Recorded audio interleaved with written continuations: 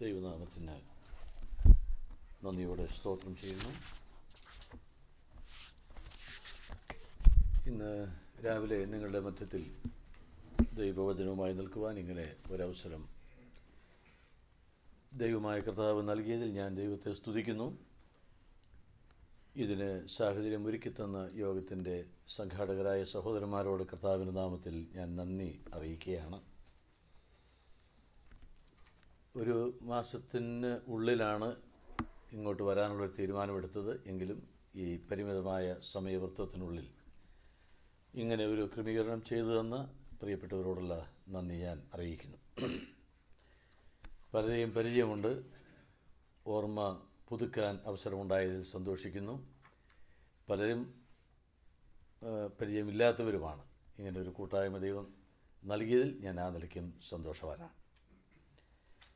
നമ്മുടെ ഇന്ന് രാവിലത്തെ ധ്യാന വിഷയം ഹാനോക്ക് എന്നുള്ളതാണ്. ഇതിന് മുൻപുള്ള ദൈവവചന ശുശ്രൂഷയിൽ ഹാനോക്കിനെ കുറിച്ച് പരാമർശിച്ചുകൊണ്ടാണ് കർത്താവിന് ദാസൻ സന്ദേശം അവസാനിപ്പിച്ചത്. അത് ഒരു ആമുഖത്തിന്റെ ഒരു ഒരു ആവശ്യമില്ലാതെ വണ്ണം കാര്യങ്ങളെ എളുപ്പമാക്കി എന്ന് എനിക്ക് തോന്നുന്നു. ഇത് ഹാനോക്കിന്റെ ജീവിതത്തെക്കുറിച്ചുള്ള സമഗ്രമായ ഒരു പഠനമല്ല. ഇതിൽ നിന്നുള്ള ചെറിയ ചില ആലോചനകൾ നമ്മുടെ പ്രായോഗിക ജീവിതത്തിലേക്ക് കൊണ്ടുവരാനായിട്ട് ഓർപ്പിക്കുക എന്നുള്ളതാണ് ഞാൻ ആഗ്രഹിക്കുന്ന വിഷയം. നമുക്കറിയാം ഹാനോക്കിനെക്കുറിച്ച് രാവിലെ യൂതയുടെ ലേഖനത്തിൽ വായിച്ചത് ആദാം മുതൽ ഏഴാമനായ ഹാനോക്ക് എന്നാണ്. ആ തലമുറകൾ വായിച്ചു നോക്കിയാൽ നമുക്ക് കൃത്യമായിട്ടറിയാം. ഏഴാമത്തെ തലമുറയിൽ ഹാനോക്കിനെ നാം കാണുന്നു. ഉൽപ്പത്തി പുസ്തകം അഞ്ചാം അധ്യായത്തിലാണ് അദ്ദേഹത്തിന്റെ ജീവചരിത്രം നാം വായിക്കുന്നത്. അത് പിന്നീടുള്ള പല ഭാഗങ്ങളും ആവർത്തിച്ച് വരുന്നുണ്ട്. ദിനവൃത്താന്തങ്ങളുടെ ഒന്നാം പുസ്തകം ഒന്നാം അധ്യായത്തിന്റെ ഒന്ന് മുതൽ ഏഴ് വരെയുള്ള വാക്യങ്ങൾ. അതുപോലെ എബ്രായ ലേഖനം പതിനൊന്നാം അധ്യായത്തിന്റെ അഞ്ചാമത്തെ വാക്യം. ഇതൊക്കെ പ്രധാനമായി ഖാനോക്കിനെ കുറിച്ച് ചൂണ്ടിക്കാണിക്കുന്ന കാര്യങ്ങളാണ്. കയ്യിന്റെ മൂത്ത മകന്റെ പേരും ഹാനോക്ക് എന്നായിരുന്നു എന്ന് നാം വായിക്കുന്നുണ്ട്. ഉൽപ്പത്തി നാലാം അധ്യായത്തിന്റെ പതിനേഴ് പതിനെട്ട് വാക്യങ്ങൾ. അവനൊരു നഗരം പണിതു. ആ നഗരത്തിന് അവനിട്ട പേരും ഹാനോക്ക് എന്ന് തന്നെയായിരുന്നു. അത് വിചിത്രമായിരിക്കും അവന്റെ ഒരു ആഗ്രഹമായിരിക്കാം. തലമുറകൾ കടന്നുപോയാലും ആ പേര് നിലനിൽക്കണം എന്നുള്ള ഒരു മോഹം അവന്റെ ഉള്ളിലുണ്ടായിരുന്നു എന്നാണ് മനസ്സിലാകുന്നത്. എന്നാൽ നമ്മുടെ ചിന്താ വിഷയം കയ്യന്റെ മകനായ ഹാനോഖല്ല. യാരദിന്റെ മകൻ ഉൽപ്പത്തി അഞ്ചിന്റെ പതിനെട്ടിൽ വായിക്കുന്നു. അതുപോലെ തന്നെ മെതുശലഹിന്റെ പിതാവായ ഹാനോക്ക് ഉൽപ്പത്തി അഞ്ചിന്റെ ഇരുപത്തി ഒന്ന് ലൂക്കോസ് മൂന്നിന്റെ മുപ്പത്തിയേഴ് വാക്യങ്ങളിൽ അത് നാം കാണും. ഹാനോക്കിന്റെ മകനാണ് ലോകത്തിൽ ഏറ്റവും കൂടുതൽ ആയുസ്സുണ്ടായിരുന്ന മനുഷ്യൻ വേദപുസ്തകത്തിൽ രേഖപ്പെടുത്തപ്പെട്ടിരിക്കുന്നത്. മെതുശലഹ് തൊള്ളായിരത്തി അറുപത്തി ഒൻപത് വർഷമാണ് അവൻ ജീവിച്ചത്. ഈ ഉൽപ്പത്തി പുസ്തകം അഞ്ചാം അധ്യായം നമ്മൾ വായിക്കുമ്പോൾ രണ്ട് പേരൊഴികെ ബാക്കി എല്ലാവരും തൊള്ളായിരം വയസ്സിന് മേൽ പ്രായമുള്ളവരായിരുന്നു. രണ്ട് പേരാണ് തൊട്ട് താഴെ നിൽക്കുന്നത്. എന്നാൽ അതിൽ ഏറ്റവും കുറഞ്ഞ പ്രായം ജീവിച്ചു എന്ന് പറയുന്നത് ഹാനോക്കിനെ കുറിച്ചാണ്. നാം അഞ്ചാം അധ്യായത്തിന്റെ ഇരുപത്തി മൂന്നാം വാക്യത്തിൽ വായിക്കുന്നത് മുന്നൂറ്റി അറുപത്തഞ്ച് വർഷമായിരുന്നു ഹാനോക്കിന്റെ ആയുസ് എന്നുള്ളതാണ്. ഏറ്റവും വേഗം മനസ്സിൽ വരുന്ന ഒരു ചിന്ത. മരണം കാണാതെ എടുക്കപ്പെട്ടവരിൽ ആദ്യത്തെ ഹാനോക്കാണ്. മറ്റേയാൾ നമുക്കറിയാം ഏരിയാവാണ് ഇദ്ദേഹത്തിന്റെ പ്രവചനമാണ് രാവിലെ നാം വായിച്ചത്. അദ്ദേഹത്തെ വേണമെങ്കിൽ ഒരു പ്രവാചകൻ എന്നും വിളിക്കാം അതിന്റെ അടിസ്ഥാനത്തിൽ. കാരണം ഒരു പ്രവചനം അദ്ദേഹം നൽകി എന്നുള്ളത് കൊണ്ടാണ്. ആ, പ്രവചനത്തിന്റെ ഉറവിടം എന്താണ് എന്നവിടെ എഴുതിയിട്ടില്ല. പഴയ പത്തിൽ നാം വായിക്കുന്നുമില്ല. എങ്കിലും തിരുവെഴുത്താക്കാരും നമ്മുടെ മുൻപാകെ വ്യക്തമാക്കുകയാണ്. ഹാനോക്കിന്റെ മകന് മെതുശലഹ് എന്ന് പേരിട്ടത് അത് അവനുണ്ടായ ഒരു വെളിപ്പാടിന്റെ വെളിച്ചത്തിലാണോ എന്ന് എനിക്കറിയാൻ പാടില്ല. കാരണം മെതുശലഹ് എന്നുള്ള വാക്കിന്റെ അർത്ഥം അവൻ മരിക്കുമ്പോൾ അത് സംഭവിക്കും എന്നുള്ളതാണ്. അതായത് അത് പ്രളയത്തെക്കുറിച്ചുള്ള ഒരു സൂചനയാണ്. അങ്ങനെയാണ് എന്ന് വരികിൽ ഒരു മഹാപ്രളയം വരുന്നു എന്നുള്ള ബോധ്യത്തിൽ നിന്ന് അവൻ ആ പേര് ഇട്ടതാകാം. നമുക്കറിഞ്ഞുകൂടാ ഏതായാലും അതിന്റെ സാധ്യതകൾ തള്ളിക്കളയാനായിട്ട് നിർവാഹമില്ല.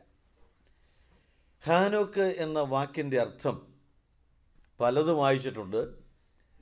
സമർപ്പിതൻ എന്നുള്ള ആശയം അതിന് വരുന്നുണ്ട്. തുടങ്ങി വെച്ചവൻ എന്നുള്ള അർത്ഥം അതിന് വരുന്നുണ്ട്. പരിശുദ്ധമാക്കുക എന്നുള്ള ആശയം അതിനുണ്ട്.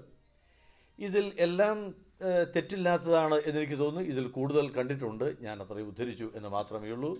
ഏതായാലും ചിന്താർഹമായ യോഗ്യമായ ഒരു പേര് അർത്ഥത്തോടുകൂടെ നമുക്ക് ഹാനോക്കിൽ കാണുവാനായിട്ട് കഴിയുന്നുണ്ട്. നമ്മുടെ സമയപരിധിക്കുള്ളിൽ ഞാൻ അവസാനിപ്പിക്കേണ്ടതുകൊണ്ട് വിശദാംശങ്ങൾ അധികം നൽകാതെ മുന്നോട്ട് പോവുകയാണ്. ഹാനോക്കിനെ കുറിച്ച് ഉൽപ്പത്തി പുസ്തകം അഞ്ചാം അധ്യായത്തിന്റെ ഇരുപത്തി ഒന്ന് മുതലുള്ള വാക്യങ്ങൾ നാം വായിക്കുന്നത് ഇങ്ങനെയാണ്. ഹാനോക്കിന് അറുപത്തഞ്ച് വയസ്സായപ്പോൾ അവൻ മെതുശലഖനെ ജനിപ്പിച്ചു. മെതുശലഖനെ ജനിപ്പിച്ച ശേഷം ഹാനോക്ക് മുന്നൂറ് സംവത്സരം ദൈവത്തോടു കൂടെ നടക്കുകയും പുത്രന്മാരെയും പുത്രിമാരെയും ജനിപ്പിക്കുകയും ചെയ്തു. ഹാനോക്കിന്റെ ആയുഷ്കാലമാകെ മുന്നൂറ്ററുപത്തഞ്ച് സംവത്സരമായിരുന്നു. ഹാനോക്ക് ദൈവത്തോട് കൂടെ നടന്നു. ദൈവം അവൻ എടുത്തുകൊണ്ടതിനാൽ കാണാതെയായി. സമാനമായിരിക്കുന്ന ഒരു പ്രസ്താവന തൊട്ടടുത്ത അധ്യായത്തിൽ മറ്റൊരാളെക്കുറിച്ച് വായിക്കുന്നുണ്ട്. അത് ഒൻപതാം വാക്യത്തിലാണ്. നോഹയെക്കുറിച്ചാണ്. നോഹ ദൈവത്തോടു കൂടെ നടന്നു. ഇത് രണ്ടും അനുബന്ധമായിട്ട് വരുന്നത് ചിന്താർഹമാണ്.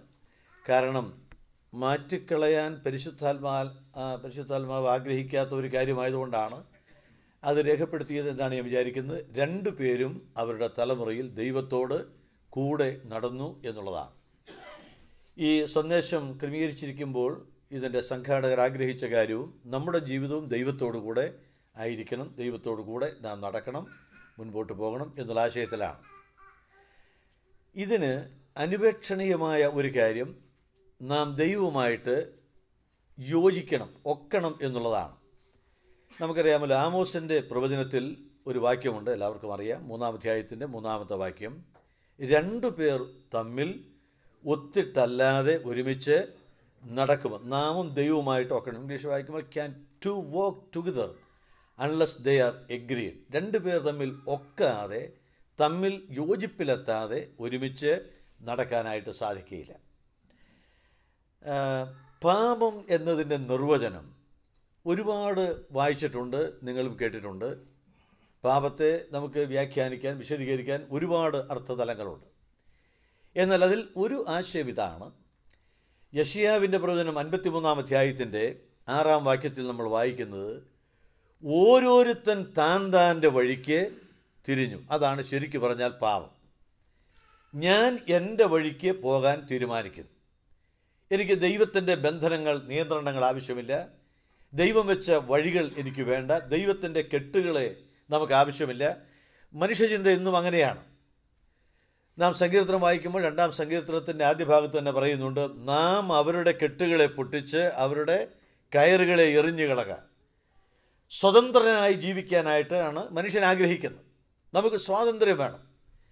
ആ സ്വാതന്ത്ര്യത്തിന്റെ ഏറ്റവും തെറ്റായ ഒരു വശം എന്ന് പറയുന്നത് നാം നമ്മുടെ ഇഷ്ടപ്രകാരം ഓരോരുത്തൻ താൻ താന്റെ വഴിക്ക് ജീവിക്കാൻ തീരുമാനിച്ചു. നാം നമ്മുടെ വഴിക്ക് തിരിഞ്ഞു എന്നുള്ളതാണ്. എന്നാൽ കാൽവറിയുടെ അടുക്കിലേക്ക് നാം വന്നപ്പോൾ ദൈവവുമായിട്ട് നാം ഒരു യോജിപ്പിലെത്തി. നമ്മുടെ അകൽച്ച അവസാനിച്ചു. അതൊരു പ്രത്യേക കാര്യമാണ്. നമ്മുടെ പാപങ്ങൾക്ക് പരിഹാരം വന്നതോടുകൂടെ നാമും കർത്താവും ഒന്നാക്കപ്പെട്ടു. അവിടെ വെച്ച് ഞാൻ എടുത്ത തീരുമാനം എന്ന് പറയുന്നത് യേശുക്രിസ്തുവിനെ എന്റെ കർത്താവായി ഞാൻ സ്വീകരിച്ചു എന്നുള്ളതാണ്. സുവിശേഷ പ്രസംഗമൊക്കെ നടത്തുമ്പോൾ സാധാരണ പ്രസംഗരെല്ലാം പറയാറുണ്ട് യേശു കർത്താവിനെ നിന്റെ രക്ഷകനും കർത്താവുമായി സ്വീകരിക്കണം. അതിൽ ഒരു തെറ്റുമില്ല. പക്ഷെ നാം സ്വീകരിക്കുന്നത് രക്ഷിതാവായിട്ടല്ല പിന്നാരായിട്ടാണ്? കർത്താവായിട്ടാണ്. റോമാലേഖനം പത്തിന്റെ ഒമ്പത് യേശുവിനെ കർത്താവെന്ന് വായുകൊണ്ടേറ്റ് പറയുകയാണ്. രക്ഷകനായിട്ട് അവൻ തീരുന്നു പക്ഷേ നാം സമ്മതിക്കുന്നത് ഇന്നു മുതൽ നീ എന്നെ ഭരിക്കാൻ ഞാൻ നിന്നെ അനുവദിച്ചിരിക്കുന്നു.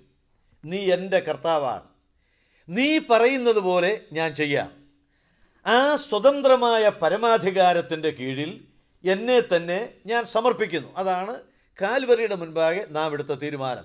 ദൈവത്തിന്റെ അധികാരത്തിന് നമ്മെ തന്നെ വിധേയപ്പെടുത്തി കൊടുത്തു. നാം ദൈവവുമായിട്ട് ഒരു യോജിപ്പിലേക്ക് ഒരു തീരുമാനത്തിലേക്ക് വരുവാനായിട്ട് ഇടയായിത്തീർന്നു.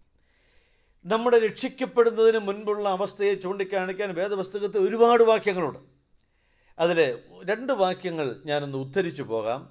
ഒന്ന് എഫ് എസ് ലേഖനം രണ്ടാം അധ്യായത്തിന്റെ രണ്ടാമത്തെ വാക്യമാണ്. മലയാള ഭാഷയിലെ വാക്യങ്ങളാണ് ഞാനിപ്പോൾ പറയുന്നത്. അവിടെ നാം ഈ ലോകത്തിന്റെ കാലഗതിക്ക് അനുസരിച്ച് ജീവിച്ചു എന്നുള്ളതാണ്. ഒരു തർജമയിൽ വായിച്ചത് അത് കുറച്ചുകൂടി ലളിതമാണ്. കാലഗതി എന്നുള്ളതിന് നാം ഈ ലോകത്തിൽ ജീവിച്ചത് കാലത്തിനൊത്തവണ്ണമാണ്. എന്ന് പറഞ്ഞാൽ ഓരോ തലമുറ വരുമ്പോഴും അന്ന് നിലവിലുണ്ടായിരുന്ന രീതികൾക്ക് അനുസരിച്ച് അന്നത്തെ ആളുകളുടെ ജീവിത രീതി അത് പകർത്തി അവരെ പോലെ നാം ജീവിച്ചു. കാലത്തിനൊത്ത് ജീവിച്ചു. അത് വലിയ പ്രയാസമില്ലാത്ത ഒരു കാര്യമാണ് അല്ലേ? ഏത് തലമുറയിലാണെങ്കിലും ആ ആ വരുന്ന തലമുറയോട് ചേർന്ന് ജീവിക്കുന്നത് എളുപ്പമുള്ള കാര്യമാണ്. അവർ വർത്തമാനം പറയുന്ന പോലെ പറയുക അവർ വസ്ത്രം ധരിക്കുന്ന പോലെ ധരിക്കുക അവർ കഴിക്കുന്നത് കഴിക്കുക അവർ പോകുന്ന സ്ഥലത്ത് പോവുക അവരോടൊരുമിച്ച് അവരിൽ ഒരാളായിട്ട് മാറുക. മനുഷ്യ സഹജമായ സാധ്യമായിരിക്കുന്ന ഒരു കാര്യമാണത്. കാലത്തിനൊത്ത് ജീവിച്ചു. ഒരു പ്രയാസമില്ലാത്ത കാര്യമാണ്. അതിന്റെ കാരണം രണ്ടാം അധ്യായത്തിന്റെ പതിമൂന്നാം വാക്യത്തിൽ വായിക്കുന്നുണ്ട് അന്ന് നിങ്ങൾ ദൂരസ്ഥരായിരുന്നു. അതായത് ദൈവത്തോട് അകലുമ്പോൾ കാലത്തിനൊത്ത് ജീവിക്കാൻ പ്രയാസമുണ്ടാവുകയില്ല. രണ്ടാമത്തെ വാക്യം പത്രോസിന്റെ ഒന്നാം ലേഖനം നാലാം അധ്യായത്തിൽ നിന്നാണ്. അതിന് മൂന്നും നാലും വാക്യങ്ങളിൽ പറയുന്ന ഒരു കാര്യമുണ്ട്.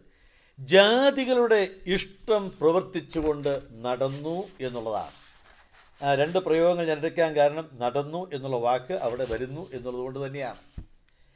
നാം ഈ ലോകത്തിലെ ജാതികളുടെ ഇഷ്ടത്തിന് ഒത്ത് ജീവിക്കുവാൻ ഇടയായിത്തീർന്നു. ആ വാക്യം ഒന്ന് നോക്കുന്നത് നല്ലതാണ് എന്ന് ഞാൻ വിചാരിക്കുന്നു. മൂന്നും നാലും വാക്യങ്ങൾ. അവിടെ പറയുന്നത് നിങ്ങൾ ഇങ്ങനെയൊക്കെ ആയിരുന്നു. മോഹങ്ങളിലും വീഞ്ഞുകുടിയിലും മെറിക്കൂത്തുകളിലും മദ്യപാനത്തിലും ധർമ്മവിരുദ്ധമായി വിഗ്രഹാരാധനയിലും നടന്ന് ജാതികൾ ഇഷ്ടം പ്രവർത്തിച്ചുകൊണ്ട് കാലം പോക്കിയത് മതി. നാലാം വാക്യം പറയുകയാണ് ദുർനടപ്പിന്റെ അതേ കവിച്ചലിൽ നിങ്ങൾ അവരോട് ചേർന്ന് നടക്കാതിരിക്കുന്നത് അപൂർവം എന്ന് വെച്ച് അവർ ദുഷിക്കുന്നു എന്നുള്ളതാണ്. അതായത് ലോകം ആഗ്രഹിക്കുന്ന ആ കാര്യം എന്ന് പറയുന്നത് അവരോട് ചേർന്ന് നടക്കുകയാണ്. അങ്ങനെ നടക്കാതെ വരുമ്പോൾ ആ ആളുകൾ ലോകത്തിലെ ആളുകൾ നമ്മെ ഇവിടെ എഴുതിയിരിക്കുന്നത് ദുഷിക്കുവാൻ ഇടയായിത്തീരും എന്നുള്ളതാണ്. അപ്പോൾ ഏറ്റവും എളുപ്പം ഏതാ? മറ്റുള്ളവരുടെ ദുഷി കേൾക്കാതെ പോകാൻ അപമാനം ഏൽക്കാതിരിക്കാൻ ഏറ്റവും എളുപ്പമുള്ളതാണ് ഏതാണെന്ന് ചോദിച്ചാൽ അവരോട് ചേർന്ന് നടക്കുന്നതാണ്. പക്ഷേ ദൈവാത്മാവ് പറയുകയാണ് പാടില്ല. ദുർനടപ്പിന്റെ കവിച്ചലാണ് അവിടെ കാണുന്നത്. അതുകൊണ്ട് അവരോട് ചേർന്ന് നടക്കരുത് എന്ന് നാം വ്യക്തമായിട്ട് കാണുകയാണ്. പുറപ്പാട് പുസ്തകത്തിൽ ഇതിനോട് സമാനമായിട്ടുള്ള ഒരു വാക്യമുണ്ട്. ഞാൻ ഉദ്ധരിച്ചു പോകാം. പുറപ്പാട് ഇരുപത്തിമൂന്നാം അധ്യായത്തിന്റെ രണ്ടാമത്തെ വാക്യമാണ്. അടിവരടേണ്ട ഒരു വാക്യമാണ്. അതായത് ബഹുജനത്തെ അനുസരിച്ച് ദോഷം ചെയ്യരുത്. പൊതുവെ നമ്മൾ പറയുന്നത് കേൾക്കുന്ന ഒരു കാര്യമുണ്ട്. എല്ലാവരും ഇങ്ങനെയൊക്കെയാണ്. അല്ലേ? എവിടെ ചെന്നാലും കേൾക്കുന്ന കാര്യമാണ് ഇതിപ്പോൾ എവിടെയാ സഹോദര ഇങ്ങനെ ഒരു ഇതുള്ളത് ഇപ്പം എല്ലാവരും ഇങ്ങനെയല്ലേ ചെയ്യുന്നത്? എല്ലാവരും ഇങ്ങനെയല്ലേ പറയുന്നത്? എല്ലാവരും പോകുന്നത് ഈ നിലയ്ക്കല്ലേ? എല്ലാ കുടുംബങ്ങളും ഇങ്ങനെയല്ലേ? എല്ലാവരുടെയും മക്കൾ ഇങ്ങനെയല്ലേ? ബഹുജനത്തെ അനുസരിച്ച് ദോഷം ചെയ്യരുത്. തിരുവെടുത്ത് പറയുന്ന കാര്യമാണ്. അപ്പം നമുക്ക് നമ്മുടേതായ ഒരു തീരുമാനവും നമ്മുടേതായ ഒരു വിശുദ്ധ വഴിയുമുണ്ട്. അതിലൂടെ സഞ്ചരിക്കാൻ നമുക്കിടയാകണം. ഞാൻ ആ വാക്കുകൾ പറയുന്നത് അർത്ഥവത്തായ നിലയിൽ തന്നെ എടുക്കണം എന്നുള്ള എന്റെ ആഗ്രഹത്തിലാണ്. അപ്പോൾ നാം മുൻപ് നടന്നത് ലോകത്തിലെ ആളുകളോട് ചേർന്ന് അവരുടെ ദുർനടപ്പിനോട് ചേർന്ന് നാം നടന്നു. അത് അവർക്കും സന്തോഷമാണ്. ഒരു എതിർപ്പും അവരിൽ നിന്നുണ്ടാവുകയില്ല. പക്ഷേ നാം വ്യത്യസ്തരായി ജീവിക്കുവാൻ തീരുമാനിക്കുമ്പോൾ അവർ നമ്മെ ദുഷിക്കുവാൻ ഇടയാകും. പക്ഷേ വചനം നിഷ്കർഷിക്കുന്നു. അവരെ പോലെ നാം ജീവിക്കാൻ പാടില്ല. റോമാലേഖന പന്ത്രണ്ടാം അധ്യായത്തിന്റെ രണ്ടാം വാക്യത്തിൽ നമുക്കറിയാവുന്ന കാര്യമാണ്. ഈ ലോകത്തോട് അനുരൂപരാകരുത്. അവിടെ ലോകം എന്നുള്ളതിന് ഉപയോഗിച്ചിരിക്കുന്ന പല പദങ്ങൾ ശ്രദ്ധയിൽപ്പെടുവാനിടയായി. മൂന്ന് വാക്കുകൾ ഞാൻ ഉദ്ധരിക്കാം. അനുരൂപരാകരുത് എന്ന് പറയുന്ന ലോകം എങ്ങനെയുള്ളതാണ്? ഒന്ന് പാറ്റേൺ എന്നുള്ള ഒരു വാക്ക് കാണാനിടയായി. പാറ്റേൺ എന്ന് പറഞ്ഞാൽ ഈ ലോകം നമ്മുടെ മാതൃകയാക്കാൻ ഇടയാക്കാതെ പോകേണ്ട ഇട- ഇടയാക്കാതെ പോകേണ്ടതാണ്. ഈ ലോകത്തിന്റെ മാതൃക. അവരാണ് നമ്മുടെ മാതൃക. അല്ലെങ്കിൽ ലോകത്തിൽ ഇന്ന് നടക്കുന്ന കാര്യങ്ങളാണ് നമ്മുടെ പാറ്റേൺ അത് വരാൻ പാടില്ല. ഈ ലോകത്തോട് അനുരൂപരാകരുത്. മറ്റൊരു വാക്ക് ബിഹേവിയർ എന്നുള്ള പദമാണ്. അതായത് നിങ്ങളുടെ പെരുമാറ്റം അവരെ പോലെ ആകരുത്. ലോകത്തിലെ ആളുകളെ പോലെ നിങ്ങൾ പെരുമാറരുത്. അത് വളരെ ശക്തമായിട്ട് ദൈവാത്മാവ് ചൂണ്ടിക്കാണിക്കുന്നു. അവരുടെ പെരുമാറ്റം. മൂന്നാമത്തേത് ഞാൻ ആദ്യം പറഞ്ഞ വിഷയത്തോട് ചേർന്ന് വരുന്ന അർത്ഥമാണ് കസ്റ്റംസ് അതായത് നാട്ടുനടപ്പ്. ഇപ്പോൾ എല്ലാവരും ഇവിടെ ഇങ്ങനെയാണ്. കേരളത്തിലെ ആളുകൾ ഇങ്ങനെയാണ്. അമേരിക്കയിലെ ജനങ്ങൾ ഇങ്ങനെയാണ്. നാട്ടിൽ ഇങ്ങനെയാണ്. നമുക്ക് നാട്ടുനടപ്പ് ബാധകമാകരുത് എന്നാണ് തിരുവഴുത്ത് പറയുന്നത്. ഇപ്പം നാട്ടുനടപ്പാണെങ്കിൽ തന്നെ നമുക്കറിയാം എന്നാലും അവൻ അവൾ എന്ന് പറയാറുണ്ട്. ഇങ്ങനെയൊക്കെയാണെങ്കിലും ഒരു അയ്യോഭാവം നമുക്ക് തോന്നിപ്പോകും. കാരണം നമ്മൾ അങ്ങനെ പാടില്ലാത്തവരാണല്ലോ എന്നുള്ള ആ വലിയ ഉൾചിന്തയിൽ നിന്നാണ് അത് വരുന്നത്. അപ്പം നാം അനുരൂപരാകരുത് എന്ന് തിരുവഴുത്ത് പറയുന്ന ഈ മൂന്ന് അർത്ഥതലങ്ങളും വളരെ പ്രധാനമായിട്ട് ഓർക്കേണ്ടതാണ്. ഈ ലോകത്തിന്റെ മാതൃക ഈ ലോകത്തിന്റെ പെരുമാറ്റം ഈ ലോകത്തിൽ നിലവിലിരിക്കുന്ന നാട്ടുനടപ്പ് നമ്മെ സംബന്ധിച്ച് അന്യമായിട്ടിരിക്കേണ്ടതാണ്. നാം വ്യത്യസ്തരായി തന്നെ ജീവിക്കണമെന്ന് ദൈവാത്മാവ് ആഗ്രഹിക്കുകയാണ്. ഇനി എന്റെ മനസ്സിൽ ഇതിൽ ആദ്യമായിട്ട് വരുന്ന ഒരു കാര്യം. മെതുശലക്കിനെ സംബന്ധിച്ചിടത്തോളം അവൻ ജനിച്ചപ്പോഴാണ് ഹാനോക്കിന്റെ ദൈവത്തോടുകൂടെയുള്ള യാത്ര ആരംഭിച്ചത് എന്ന് നാം ഉൽപ്പത്തി അഞ്ചാം അധ്യായത്തിന്റെ ഇരുപത്തിരണ്ടാം വാക്യത്തിൽ കാണുന്നു. മെതുശലക്കിനെ ജനിപ്പിച്ച ശേഷം ഹാനോക്ക് മുന്നൂറ് സംവത്സരം ദൈവത്തോടു കൂടെ നടന്നു എന്നുള്ളതാണ്.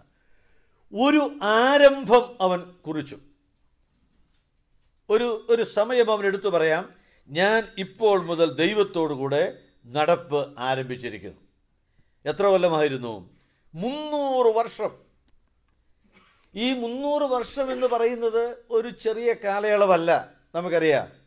പക്ഷേ ആ അതിദീർഘമായ നാളുകൾ ആ ദൈവദാസൻ ജീവിതത്തിന്റെ എല്ലാ അനുഭവങ്ങളിലും ദൈവത്തോടുകൂടെ നടന്നു എന്നുള്ളതാണ്. ഇത് വളരെ പ്രധാനപ്പെട്ട ഒരു കാര്യമാണ്. എന്തെല്ലാം അനുഭവങ്ങൾ ഉണ്ടായി എന്ന് നമുക്ക് അവിടെ എഴുതി വായിക്കാനായിട്ട് എഴുതപ്പെട്ടില്ലെങ്കിലും അനുമാനിക്കാവുന്ന എല്ലാ സാഹചര്യങ്ങളും ഹാനോക്കിനെ സംബന്ധിച്ച് ഉണ്ടായിരുന്നു. അല്ലേ? നിശ്ചയമായിട്ടുണ്ടായിരുന്നു അവന്റെ സാമ്പത്തിക സ്ഥിതി നല്ലതായിരുന്ന കാലമുണ്ടായിരിക്കാം മോശമായി കഴിഞ്ഞ കാലങ്ങളുണ്ടായിരിക്കാം. എല്ലാവരും സ്നേഹിക്കുന്ന ഒരു കാലമുണ്ടായിരിക്കും ചിലപ്പോൾ വെറുക്കപ്പെടുന്ന ഒരു കാലമുണ്ടായി കാണാം. അസ്വസ്ഥതകളുണ്ടായ സമയം ആശ്വാസകരമായ ദിനങ്ങൾ പ്രകാശം വന്ന് ഉദിച്ചതുപോലെ തോന്നുന്ന ദിനരാത്രങ്ങൾ അയ്യോ പറയുന്ന പോലെ പണ്ടത്തെ കാലം എന്ന് പറയാവുന്ന നല്ല ഓർമ്മയുടെ നാളുകൾ ഉണ്ടായിരിക്കാം വൈഷമ്യത്തിന്റെ കാർമേഘാവൃതമായ അനുഭവങ്ങൾ വന്നേക്കാം. അവന്റെ ജീവിതം ശരിക്കും പറഞ്ഞാൽ അനുഭവങ്ങളുടെ ഉയർച്ച താഴ്ചകളിലൂടെ മുന്നോട്ട് പോവുകയായിരുന്നു. പക്ഷേ പരിശുദ്ധാത്മാവ് പറയുകയാണ് ആ മുന്നൂറ് കൊല്ലവും ആ ദൈവദാസൻ ദൈവത്തോടൊരുമിച്ച് ജീവിച്ചു എന്നുള്ളതാണ്. ഞാനതിന്റെ നേരെ ചൊവ്വേ പറഞ്ഞാൽ അതിന്റെ അർത്ഥം ഇതാണ്. സാഹചര്യങ്ങൾ അവനുണ്ടായ അനുഭവങ്ങൾ ദൈവത്തിൽ നിന്ന് അകറ്റുന്നതിന് പര്യാപ്തമായില്ല എന്നുള്ളതാണ്. നമ്മൾ പലപ്പോഴും നമ്മൾ തെറ്റു ചെയ്യുമ്പോൾ പറയുന്നത് സാഹചര്യം അങ്ങനെയായിരുന്നു. നമ്മൾ പലപ്പോഴും പറയുന്ന കാര്യം അങ്ങനത്തെ ഒരു അവസ്ഥയിലായിരുന്നു അത്. അല്ലെങ്കിൽ എന്റെ ജീവിതത്തിൽ ഇന്ന ഒരു സമയത്തായിരുന്നു അത്. അതിന് തിരുവഴുത്ത് അനുവദിക്കുന്നില്ല എന്നാണ് ഈ ഭാഗം പറയുന്നത്. ജീവിതത്തിൽ മറ്റ് അനുഭവങ്ങൾ നമ്മുടെ ആത്മീയ ജീവിതത്തിന്റെ നേർപാതയിലൂടെയുള്ള ചലനത്തിന് തടസ്സം വരുത്തുന്നതിന് ഇടയാക്കരുത്.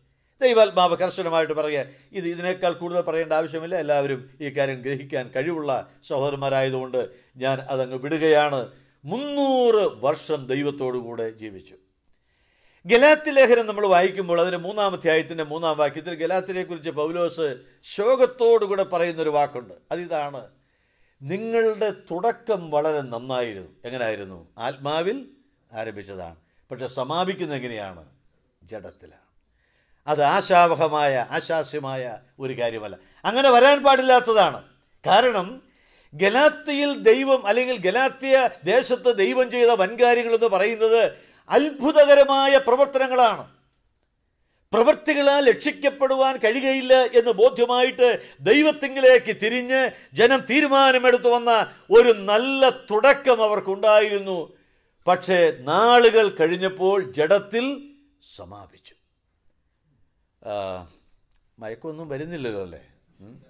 പണ്ടൊരു ഉപദേശി പ്രസംഗിച്ചുകൊണ്ടിരുന്നപ്പോൾ ഇങ്ങനെ ചോദിച്ചായിട്ട് കേട്ടിട്ടുണ്ട് സ്വർഗത്തിലേക്ക് പോകാൻ ആഗ്രഹിക്കുന്ന ആളുകളൊന്ന് എഴുന്നേറ്റ് നിൽക്കാവോ? എല്ലാവരും എഴുന്നേറ്റ് നിന്നു. ഒരാൾ മാത്രം ഉറങ്ങുകയായിരുന്നു. അപ്പോൾ അത് കഴിഞ്ഞപ്പോൾ അദ്ദേഹം പറഞ്ഞു നരകത്തിലേക്ക് പോകാൻ താല്പര്യമുള്ളവർ പിന്നെ ശബ്ദം എടുത്ത് പറഞ്ഞു എഴുന്നേറ്റ് നിൽക്കാം എന്ന് പറഞ്ഞു. അപ്പം അതാ മറ്റേ ആൾ കേട്ടത്. അയാൾ ചാടി എഴുന്നേറ്റ് നിന്നു. അപ്പോൾ നോക്കിയപ്പോൾ ആകെ ഒരു പരിവക്കേട് കാരണം അയാൾ മാത്രം നിൽക്കുന്നുണ്ട് ബാക്കി എല്ലാവരും ഇരിക്കുക അപ്പോൾ അയാൾ പറഞ്ഞു "ആ, ഉപദേശം എനിക്കൊന്നും മനസ്സിലാകുന്നില്ല. നമ്മൾ രണ്ട് പേരും മാത്രം നിൽക്കുന്നുണ്ട്. ദയവായിട്ട് എന്നെ ബുദ്ധിമുട്ടിക്കരുത്. കാര്യം ഓക്കെ. ഞാൻ പറഞ്ഞു വന്ന് ശ്രദ്ധിക്കുക. അധികം സമയമൊന്നും ഇല്ലല്ലോ. പെട്ടെന്ന് അവസാനിപ്പിക്കാം അപ്പോൾ ഒരു നല്ല ആരംഭം ശരി ശരിക്കും പറയാറുണ്ട് അത് പകുതി പണി തീർത്തെന്നാണ് പറയുന്നത്. ആ നല്ല ആരംഭം കുറിച്ചൊന്ന് മാത്രമല്ല ആ ആരംഭം അവസാനം വരെ തുടർന്നു എന്നുള്ളതാണ്. ഇന്ന് രാവിലെ ഞാൻ ധ്യാന സമയത്ത് പറഞ്ഞപ്പോഴും എഫ് എസ് എഫ് ഏഷ്യ മൈനറിൽ ഉണ്ടായ സഭകൾക്കുള്ള പരാജയം അവരുടെ ആരംഭമൊക്കെ വളരെ നല്ലതായിരുന്നു. പക്ഷേ കാലങ്ങൾ കഴിഞ്ഞപ്പോൾ ആ സഭകളൊക്കെ വ്യതിയാനം വരുത്തി ജീവിതത്തിൽ അവരെ താളം തെറ്റി. ഇത് വിശ്വാസ ജീവിതത്തിൽ നമുക്കുണ്ടാകാവുന്ന ഒരു കാര്യമാണ്. നല്ല തുടക്കം നല്ല തീരുമാനം നല്ല ഒരു ഒരു ഒരു കുടുംബം നല്ല തീരുമാനങ്ങൾ. പക്ഷേ കാലങ്ങൾ കഴിയുമ്പോൾ അത് മാറാൻ സാധ്യതയുണ്ട്. പക്ഷേ ഹാനോക്ക് മുന്നൂറ് കൊല്ലം ദൈവത്തോടു കൂടെ ദിനരാത്രങ്ങൾ എല്ലാ ദിവസവും നടന്നു എന്നുള്ളത് ചിന്തനീയമാണ്. രണ്ടാമത്തേത്. അവൻ ജീവിച്ച തലമുറ എന്ന് പറയുന്നത് ദൈവം ന്യായവിധി അയക്കാതെ പിന്മാറുകയില്ലെന്ന് പറഞ്ഞ ഒരു തലമുറയിലാണ് ആറാം അധ്യായത്തിലാണ് പറയുന്നത് എനിക്കിനി ഇവരെ സഹിക്കാൻ പാടില്ല ഇവരെ ഞാൻ കൊല്ലുമെന്ന് പറഞ്ഞു. ആ തലമുറയിൽ ഈ ദൈവദാസൻ വിശ്വസ്തയോടുകൂടെ ദൈവത്തിനായി ദൈവത്തോടുകൂടെ നടന്നു ദൈവത്തിനായി ജീവിച്ചു എന്നുള്ളതാണ് ഇത് എന്ന് കേൾക്കുന്ന ഒരു ദൂതായതുകൊണ്ട് ഞാൻ ആവർത്തിച്ച് പറയുന്നില്ല. നോഹയുടെ കാലത്തും അങ്ങനെയാണ് വായിക്കുന്നത്. എന്നാൽ എന്നെ അത്ഭുതപ്പെടുത്തുന്ന ഒരു കാര്യം ആ തലമുറ ഇന്നും നിരന്തരമായിട്ട് ആവർത്തിക്കപ്പെടുകയാണ്. പാപം വർദ്ധിച്ച ഒരു തലമുറ എല്ലാ കാലത്തുമുണ്ട് ഇപ്പോൾ കൂടുതലായിട്ട് നാം കാണുകയാണ്. പക്ഷേ ഇതുപോലെയുള്ള വിശ്വസ്തന്മാരുടെ എണ്ണം കുറഞ്ഞു വരികയാണ്. അല്ലേ? അതാണ് ഏറ്റവും ഭയാനകമായിട്ടുള്ള കാര്യം. അല്ലേ? ഹാനോക്കോ നോഹയോ അതുപോലെയുള്ള ഉന്നത നിലവാരം പുലർത്തുന്ന ആളുകളുടെ കുറവ് നാം അനുഭവിക്കുകയാണ്. എങ്ങുമില്ലെന്നല്ല. അയ്യോ ദൈവമക്കളുടെ മധ്യത്തിൽ ആരും അങ്ങനെ ഇല്ലെന്നോ എല്ലാവരും എഴുതിട്ട് പോയെന്നോ ഞാൻ ഒരു ഒരു ഒരു പരിഭവം പറയുകയല്ല. പക്ഷെ പൊതുവെ പറഞ്ഞാൽ ഈ പാപം വർദ്ധിച്ച തലമുറയ്ക്ക് ആനുപാതികമായി ആത്മീകന്മാർ എഴുന്നേറ്റ് വരുന്നില്ല. മിടുക്കന്മാർ ഒത്തിരി ഉണ്ടാകുന്നുണ്ട്. പണ്ഡിതന്മാരുണ്ടാകുന്നുണ്ട്. വേദവ്യാഖ്യാതാക്കൾ ഉണ്ടാകുന്നുണ്ട്. പ്രസംഗകന്മാർ ഉണ്ടാകുന്നുണ്ട്. ബൈബിൾ കോളേജുകൾ ഉണ്ടാകും. ഞാൻ അതിനൊന്നും തടസ്സമായിട്ട് നിൽക്കുന്ന ആളല്ല. പക്ഷേ ഞാൻ പറഞ്ഞു വരുന്നത് ഇതെല്ലാം ഉണ്ടെങ്കിലും സംഭവിക്കുന്ന കാര്യം ആത്മീകന്മാരുടെ എണ്ണം തുലവും കുറഞ്ഞു വരികയാണ്. നിങ്ങൾ ആരും അതിനോട് എതിർക്കയില്ല എന്നെനിക്കറിയാം. നെഞ്ചു പൊട്ടിയാണ് പലരും പറയാറുള്ളത്. ആരെയും കാണാനില്ലല്ലോ എന്നുള്ള വാക്കുകൾ. ആ തലമുറ ആവർത്തിക്കപ്പെടുകയാണ്. മൂന്നാമത് നോഹയുടെ ഹാനോക്കിന്റെ കാലത്തെക്കുറിച്ചുള്ള ഒരു വല്ലാത്ത സ്ഥിതി എന്ന് പറയുന്നത് നോഹയുടെ കാലവും ഇതിനോട് സമാനമായിട്ട് വരുന്നതാണ് ചേർന്ന് വരുന്നതാണ്. എന്തായിരുന്നു നോഹയുടെ കാലത്തെ വിഷയമെന്ന് പറയുന്നത്? നമുക്ക് അത്ഭുതം തോന്നിപ്പോകും. എന്തായിരുന്നു വിഷയം? കർത്താവ് പറഞ്ഞു അവരുടെ കാലത്ത് ജനം എന്തു ചെയ്തു? വിറ്റും നട്ടും പോന്നു. അതിലെവിടെ തെറ്റ്? ഒരു തെറ്റുമില്ല. അത് ദൈവം അനുഭവിച്ച കാര്യമാണ്. തിന്നും കുടിച്ചും വേണ്ടേ? ഇന്ന് രാവിലെ നമ്മളത് ചെയ്താ ജീവിക്കണ്ടേ കഴിക്കണം. വിവാഹം കഴിച്ചു വിവാഹത്തിന് കൊടുത്തു പോന്നു അത് വേണ്ടേ? വേണം. പിന്നെ എന്തായാലും തെറ്റ്? തെറ്റ് ഇത്രയേ ഉള്ളൂ. അവർക്ക് ഇത് മാത്രമേ ജീവിതമായിട്ട് ഉണ്ടായിരുന്നു ഇത് മാത്രമേ ഉണ്ടായിരുന്നുള്ളൂ. ജീവിക്കുന്ന എന്തിനു വേണ്ടിയാ? കൃഷി ചെയ്യാൻ കച്ചവടം നടത്താൻ കാശുണ്ടാക്കാൻ. പിന്നെ എന്തിനു വേണ്ടിയാ? കിട്ടിയ കാശ് കൊണ്ട് തിന്ന് കുടിക്കാൻ. പിന്നെ ഇതിനു വേണ്ടിയാ? കല്യാണം കഴിക്കാൻ. ഞാൻ ദൈവജനത്തോട് ഒന്ന് ചോദിക്കുക. കുറ്റപ്പെടുത്തലൊന്നുമല്ല കേട്ടോ.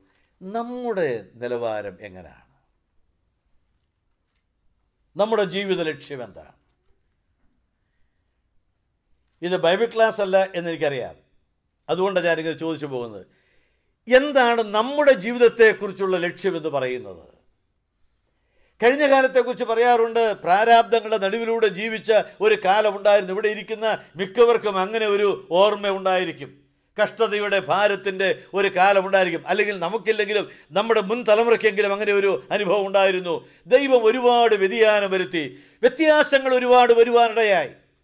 ഞാൻ യാക്കോവിന്റെ ജീവിതത്തെക്കുറിച്ച് ഓർക്കാറുള്ള ഒരു കാര്യമുണ്ട്. യാക്കോ പറഞ്ഞു ഇരുപത് കൊല്ലം ഞാൻ ലാബാന്റെ വീട്ടിൽ പണിയെടുത്തു. എങ്ങനെയായിരുന്നു പകലാണെങ്കിൽ വെയിൽ കൊണ്ട് കഷ്ടപ്പെടുക എനിക്ക് വീടിനകത്ത് കയറാൻ നേരമില്ല. രാത്രിയാണെങ്കിലോ ഉറങ്ങാനായിട്ടും പറ്റുന്നില്ല. അന്നേരം പുറത്താണ്. ശൈത്യം കൊണ്ട് ഞാൻ നശിച്ചു എന്ന് പറഞ്ഞ പണിയോട് പണിയ ഇരുപത് ഇരുപത് വർഷങ്ങൾ ഞാൻ പണിയെടുത്തു. ദൈവം കൊടുത്തോ അതിന്? അയ്യോ കൊടുത്തോ എന്നോ എന്തോരം കാശാ കൊടുത്തത് അല്ലേ? ഏ? നമുക്കറിയാമല്ലോ യേശാവ് സ്വീകരിക്കുക ചേട്ടനെ സ്വീകരിക്കാനായിട്ട് പ്രീണിപ്പിക്കാനായിട്ട് കൊടുത്ത സമ്പത്തിന്റെ കണക്ക് തന്നെ വായിച്ചാൽ ഇന്നത്തെ നിലയ്ക്ക് ദശലക്ഷങ്ങൾക്കപ്പുറത്തേക്ക് പോകും. അത്രയും കാശ് സമ്മാനമായിട്ട് കൊടുക്കണമെങ്കിൽ യാക്കോവിന്റെ ആസ്തി എന്തായിരിക്കും? ദൈവം ധാരാളമായിട്ട് കൊടുത്തില്ലേ? ഒത്തിരി കൊടുക്കുവാനിടയായി. ജീവിച്ചത് മുഴുവൻ അതിനു വേണ്ടിയാ അത് ദൈവം ധാരാളമായിട്ട് കൊടുത്തു. പക്ഷെ ഞാൻ മറുവശത്ത് ചോദിക്കട്ടെ ആത്മീക നിലവാരം എങ്ങനെ ഉണ്ടായിരുന്നു? നിങ്ങൾ അവന്റെ കൂടാരത്തിലേക്ക് നോക്കിയാൽ കാണാം. അവന്റെ ഭാര്യമാർ ഇപ്പോഴും വിഗ്രഹാരാധന ചെയ്യുകയാണ്. അവൻ ഇരിക്കുന്നത് തന്നെ വിഗ്രഹങ്ങളുടെ പുറത്താണ്. മക്കൾ എവിടെയാ?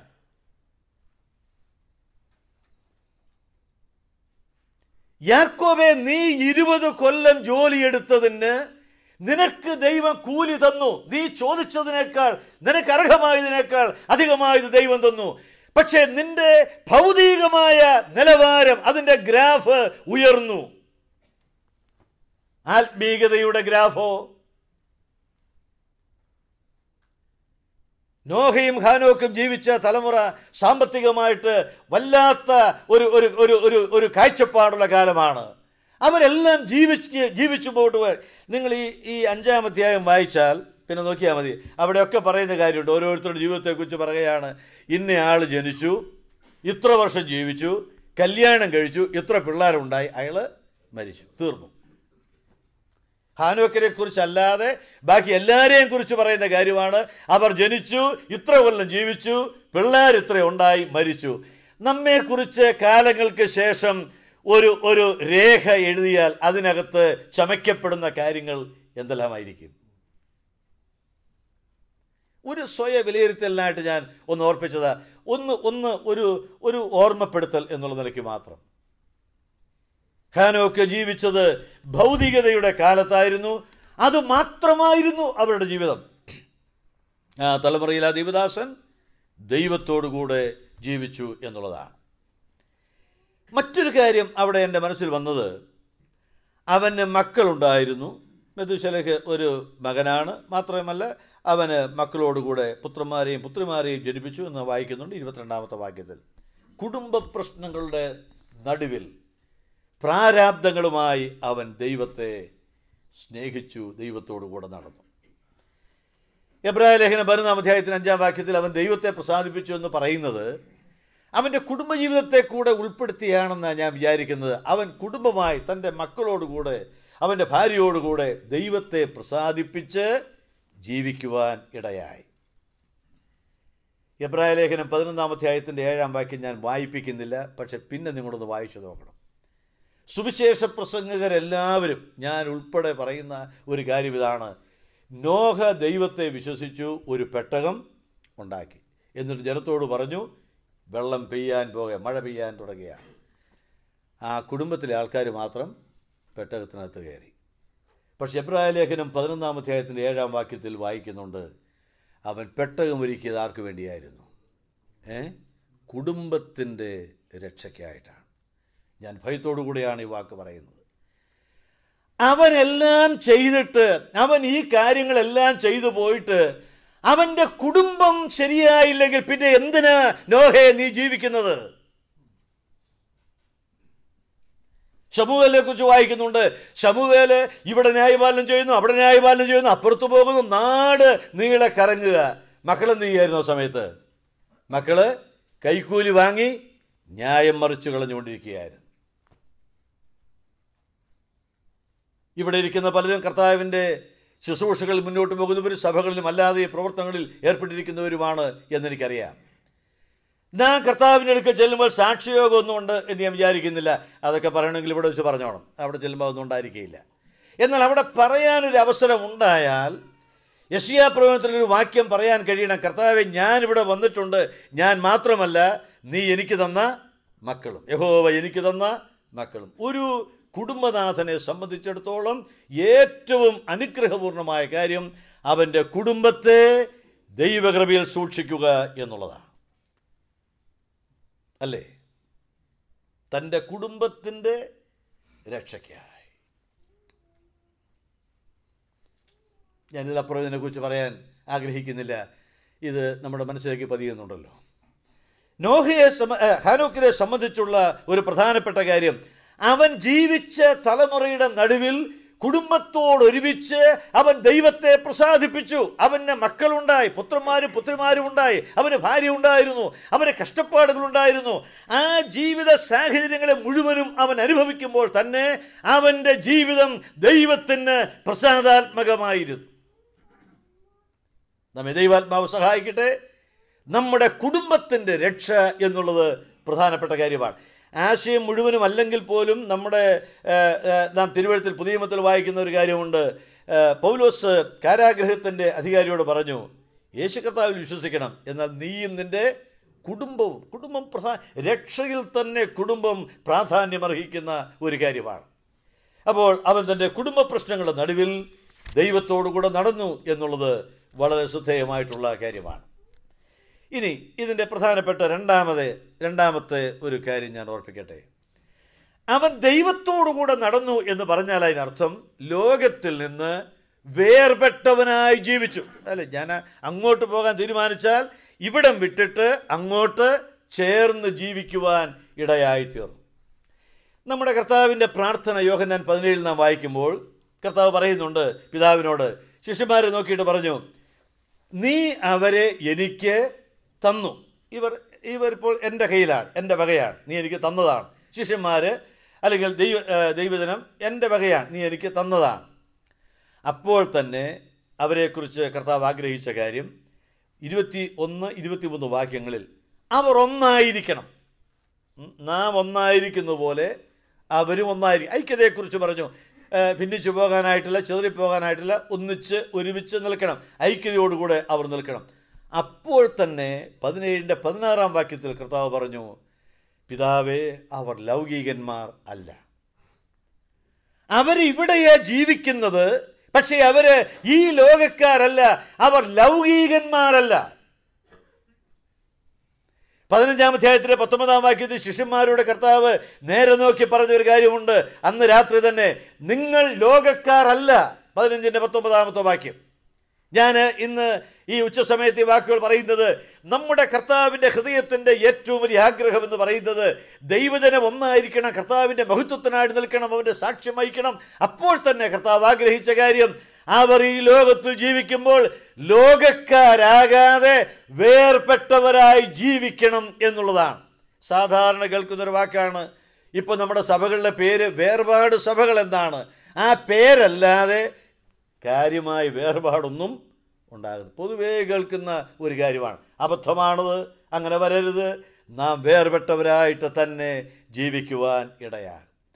ഇനി ഇങ്ങനെ ചെയ്ത് ചെയ്യുന്ന കാര്യത്തിൽ കർത്താവ് പറഞ്ഞ കാര്യം അങ്ങനെ ചെയ്താൽ ലോകം നിങ്ങളെ പകയ്ക്കും.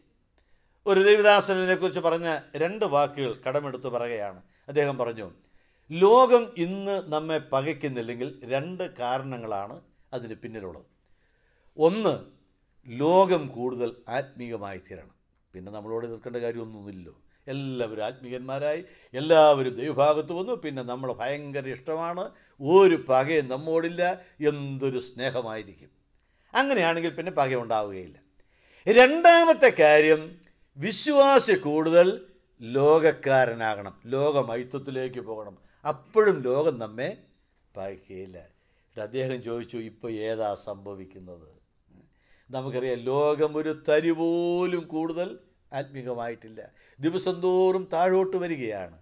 എന്നാൽ എതിർപ്പുകൾ ഉണ്ടാകുന്നില്ല നമ്മെ പകയ്ക്കുന്നില്ല നമ്മെ വളരെ കാര്യമായിട്ട് കരുതുന്നെങ്കിൽ അതിന്റെ കാരണം നാം ലോകത്തോട് ചേരുന്നു എന്നുള്ളതാണ്. വേർപെട്ടവരായിട്ട് ജീവിക്കണം.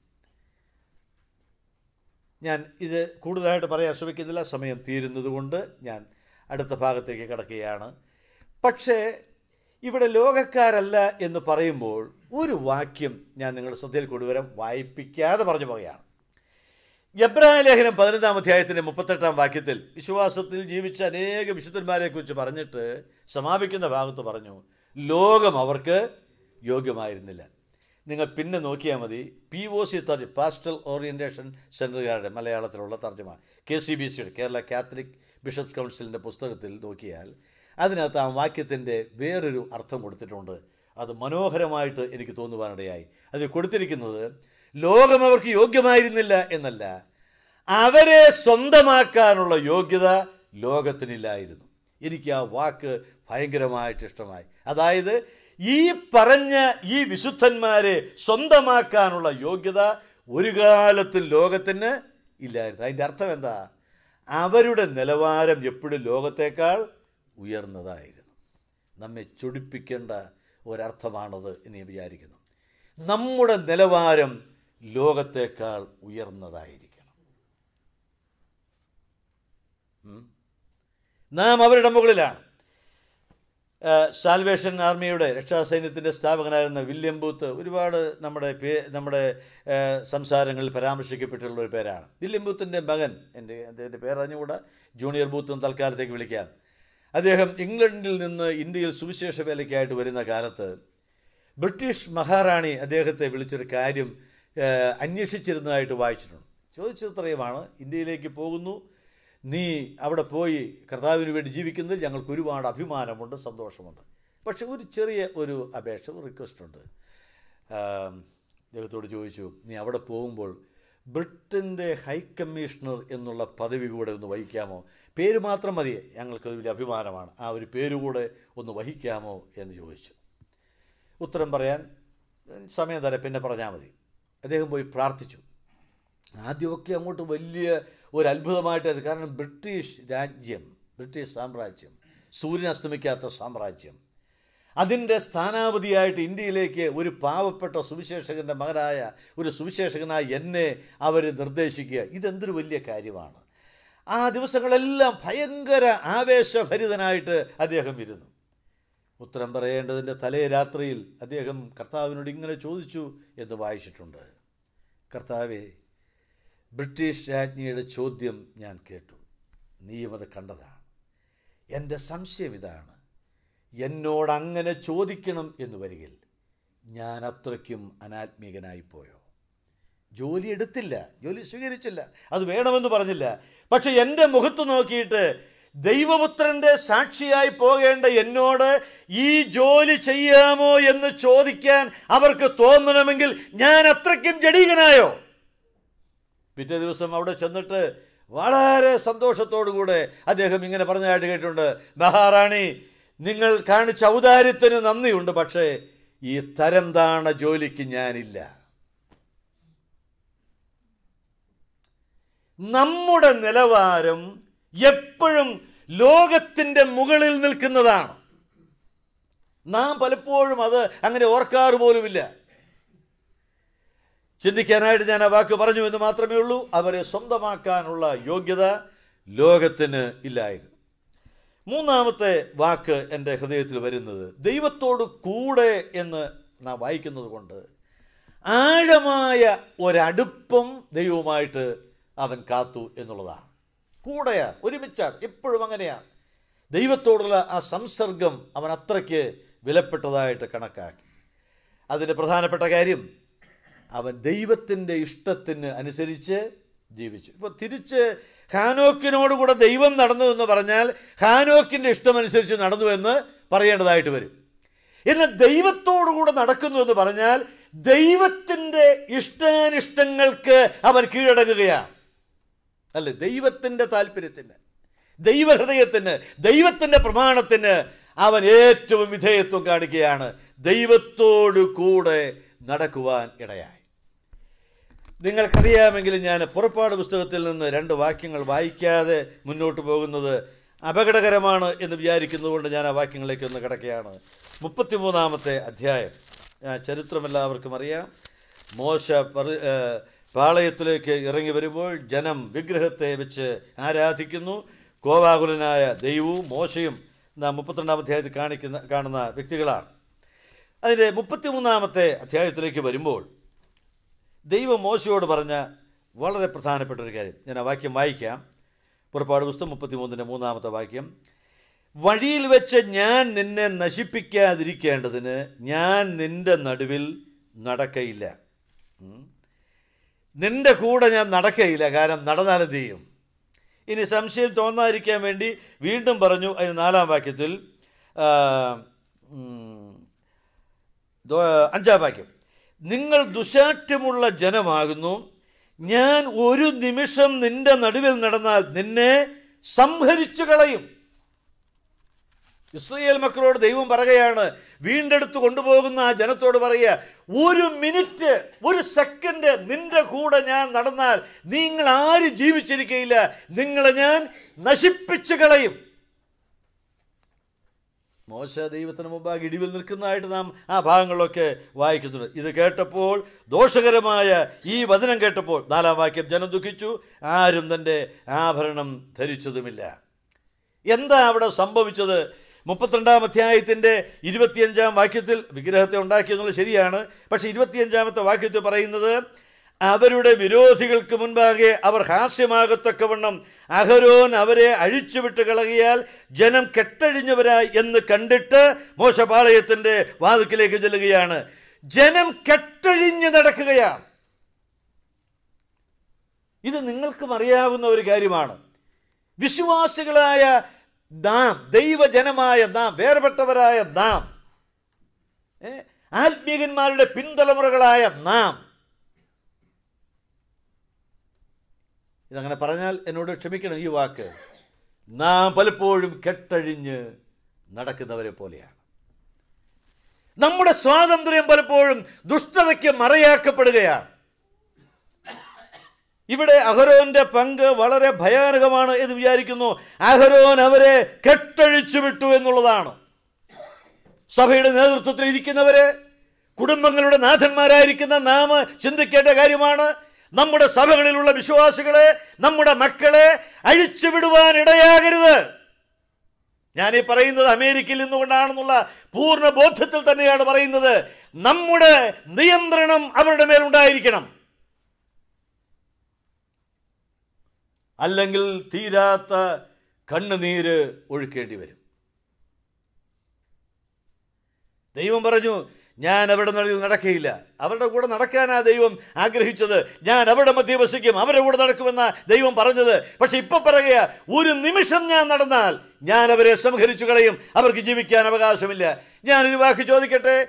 ദൈവം കൃപാലുവായതുകൊണ്ട് ഇത് കൃപയുടെ കാലമായതുകൊണ്ടല്ലേ നമ്മുടെ കർത്തൃമേശകളുടെ മുൻപിൽ നിന്ന് ശവശരീരങ്ങൾ വലിച്ചു മാറ്റാൻ ഇടയാകാതിരിക്കുന്നത്?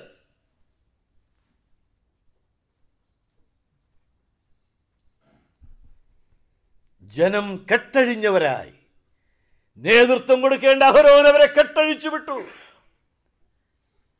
ഭയാനകമായിട്ടുള്ള ഒരു വസ്തുതയാണിത്. അത് സംഭവിക്കാൻ പാടില്ലാത്തതാണ്. പക്ഷേ ദൈവത്തോടുകൂടെ നടക്കണമെങ്കിൽ ദൈവഹൃദയത്തിന്റെ ആഗ്രഹം അറിഞ്ഞ് ആ ഹിതത്തിന് ഇഷ്ടത്തിന് നാം നമ്മെ തന്നെ വിധേയപ്പെടുത്തണം.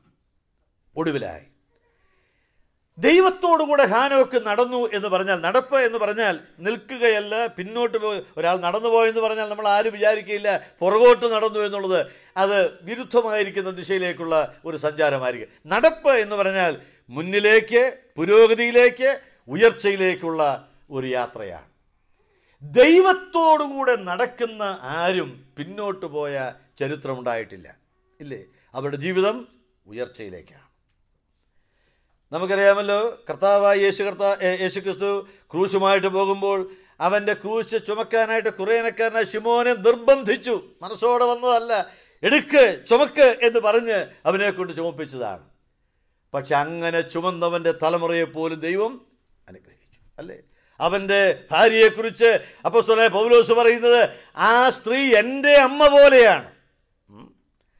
അതിന് മകനെക്കുറിച്ച് പറയുന്നത് അവൻ ആ രൂപോസ കർത്താവിൽ പ്രസിദ്ധനായി തീർന്നു എന്നുള്ളതാണ്.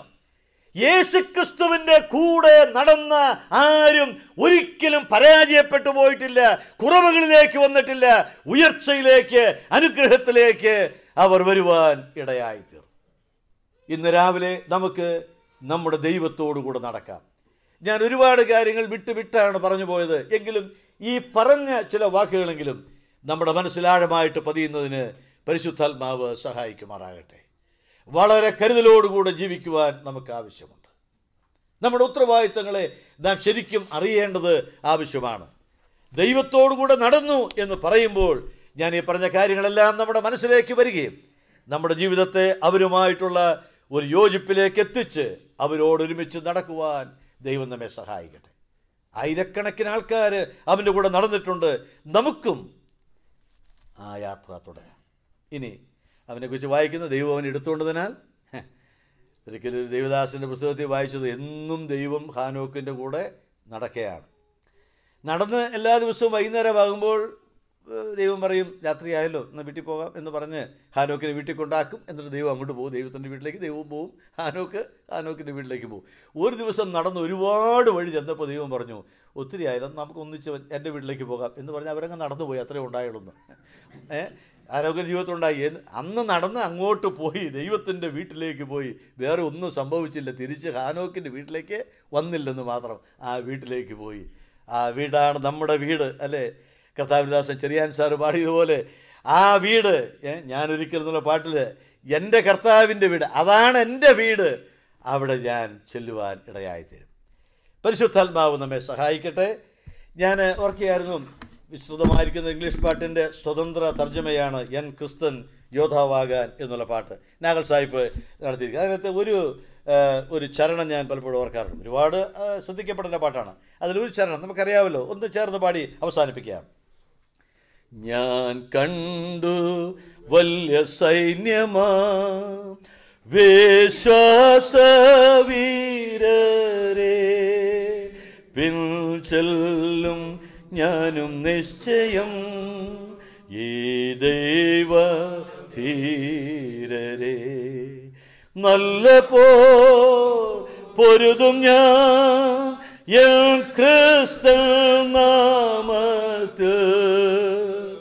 വാട കിരീടം പ്രാപിപ്പാൻ തന്നേത്യ രാജ്യത്തിൽ ഹാനോക്കിനെ പോലെ ദൈവത്തോടു കൂടെ നടന്ന് ദൈവത്തെ പ്രസാദിപ്പിക്കുവാൻ ഈ ചിന്തകളാൽ പരിശുദ്ധാത്മാവ് നമ്മുടെ ഉള്ളങ്ങളെ ഒരുക്കട്ടെ.